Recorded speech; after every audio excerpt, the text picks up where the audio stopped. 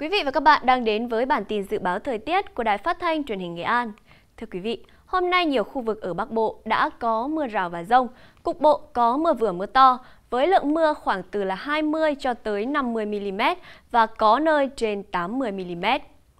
Từ đêm nay đến ngày 15 tháng 5, ở khu vực vùng núi và trung du Bắc Bộ, tiếp tục có mưa vừa mưa to, có nơi mưa rất to với lượng mưa phổ biến ở mức là từ 150 cho tới 300 mm và có nơi trên 400 mm.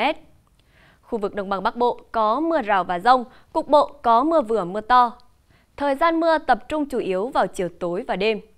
Mưa to kéo dài nên từ nay cho tới ngày 16 tháng 5, trên các sông suối thuộc khu vực Bắc Bộ sẽ xuất hiện một đợt lũ nguy cơ cao xảy ra lũ quét, sạt lở đất, ngập úng cục bộ ở các vùng trũng thấp, các khu đô thị tại các tỉnh vùng núi phía Bắc.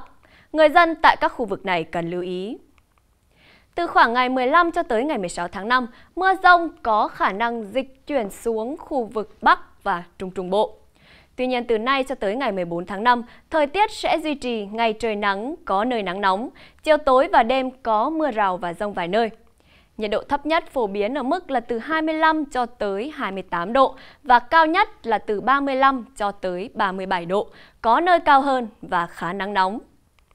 Chuyển sang khu vực Tây Nguyên và Nam Bộ, vào chiều tối một số nơi có thể có mưa rào và rông, còn ban ngày chủ đạo vẫn là nắng.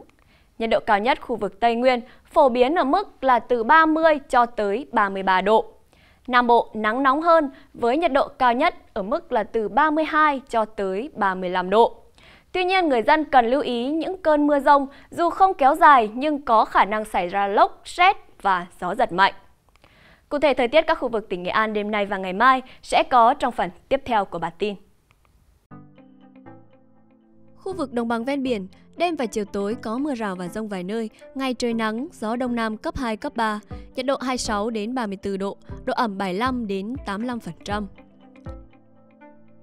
Khu vực Trung Du và vùng núi, đêm và chiều có mưa rào và rông vài nơi, ngày trời nắng, gió nhẹ, nhiệt độ 25 đến 35 độ, có nơi trên 35 độ, độ ẩm 75 đến 85%. Khu vực thành phố Vinh, đêm và chiều tối có lúc có mưa rào nhẹ và rông, ngày trời nắng, gió nhẹ, nhiệt độ 26 đến 35 độ, độ ẩm 75 đến 80%. Khu vực Cửa Lò và Đảo Ngư, đêm và chiều tối có lúc có mưa rào nhẹ và rông, ngày trời nắng, gió đông nam cấp 2 cấp 3, nhiệt độ 26 đến 33 độ, độ ẩm 80 đến 85%. Thông tin thời tiết các tỉnh thành trong cả nước sẽ kết thúc bản tin ngày hôm nay. Cảm ơn quý vị và các bạn đã theo dõi. Còn bây giờ, xin kính chào và hẹn gặp lại.